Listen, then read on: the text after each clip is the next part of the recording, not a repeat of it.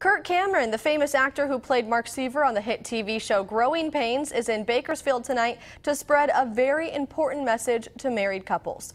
Cameron is speaking at the Canyon Hills Assembly of God about love worth fighting for.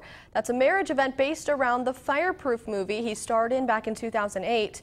He'll be teaching couples how to fireproof their marriage and also overcome obstacles with patience, knowledge, understanding, and most importantly, love.